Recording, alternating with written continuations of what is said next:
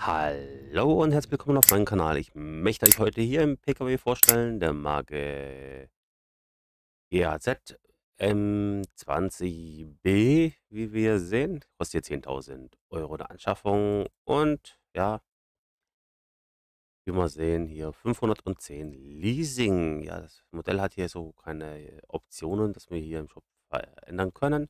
90 km/h ist er schnell, 45 Liter Tank und wir haben hier 52 PS, entsprechen hier 38 kW und 20 Euro Unterhalt am Tag.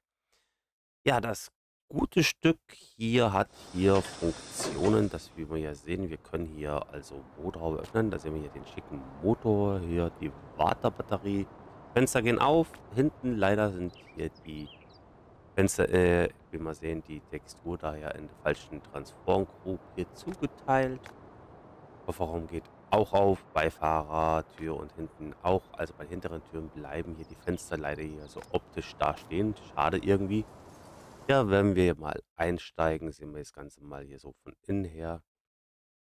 Und wir können jetzt hier mit den beiden Maustasten einmal hier die Motorhaube auf oder zumachen und natürlich mit der gleichen hier die Heckklappe. Mit der linken Tür können wir die rechte zumachen, wenn wir die Maus zurückziehen und dann die linke Fahrradtür auch mit der rechten Maus. Ja, die rechte Tür hinten und dann die linke genauso. Das war's da so her von den Funktionen. Starten wir mal. Ja. Sound her. Naja, ist so eine Sache für sich. Oh, wir haben auch eine Hängekupplung, die es anscheinend hat. Werden wir auch gleich dann testen. Wir fahren als erstes mal hier auf unsere Hebebühne. Man hört ein bisschen so die Sounddatei so leicht nacken. So, mal aussteigen. Gehen wir gleich noch hier in den Shop rein, dazwischen, wenn die Hebebühne nach oben fährt. Besorgen uns hier einfach mal einen Hänger, um hier den Attacher natürlich hier zum Testen. Ansprechen. Hier, coole Sache. Ja, also fahrwerkmäßig wurde hier ja komplett alles gemacht, außer natürlich hier die Lunch vorne. Hinten ja, haben wir schon das Ganze. Aber halt blöd ist halt diese Schlaufe hier, das Knacken von der Sounddatei. Fahrkappen sehen wir hier, spiegelt sich sonst irgendwas natürlich drin. Uhr. Rückfallig. 90 km soll er ja schnell sein. Reifenspuren macht er. Wir machen jetzt natürlich hier den Park zu 8. So, einmal F schalten. Linker funktioniert. Dann wir mal hier mit nur mit 5 können wir hier schalten. Nur mit 6. Gehen wir mal in die Innensicht mal rein. Einmal F.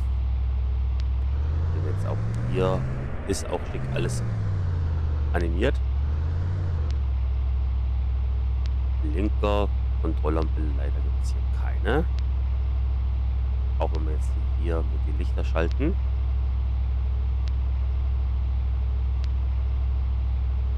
Lenkrad, finde ich, sieht cool aus. Spiegel sehen wir jetzt hier keine von außen. Innenspiegel hier ist vorhanden mit Funktion. Egal, leider hier nicht animiert. So. Wir machen jetzt äh, hier uns einen Patcher-Test mal.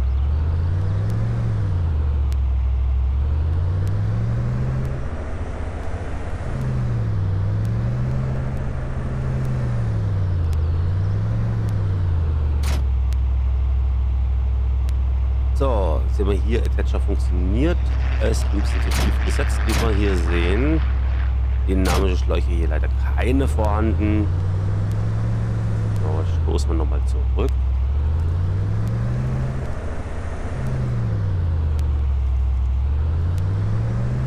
wir jetzt gleich mal hier unseren Geschwindigkeitstest.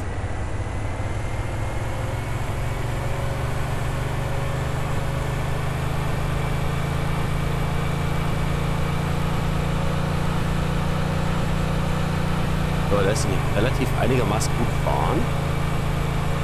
70 km haben drauf. Bin mal gespannt, wie schmutzig er wird. 82. Ja, schon Rußen tut er.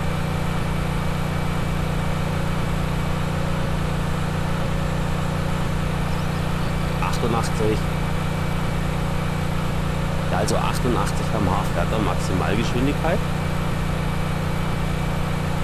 89.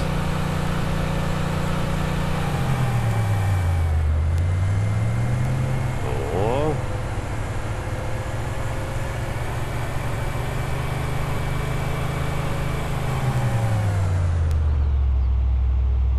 Hände am Lenkrad, ja, das Thema hatten wir ja schon oft, also ist nicht so schön platziert worden.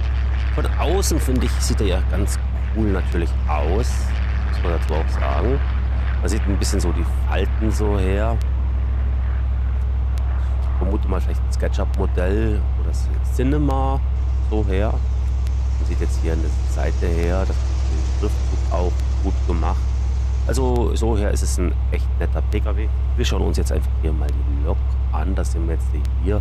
Ja, die Lok hier ist hier fehlerfrei. Ich hoffe, euch hat natürlich hier das Video gefallen. Wenn ja, schaut wieder rein, lasst einen Daumen nach oben da, würde ich mich freuen. Ich würde sagen, Dankeschön fürs Zuschauen. Bis zum nächsten Mal. Euer Franz. Ciao, ciao.